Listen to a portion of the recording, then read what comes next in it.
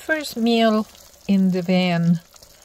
Uh, it's a veggie minestrone with oxtail. Let me know in comments if you like oxtail. It is a little tough, but it's delicious and it's good.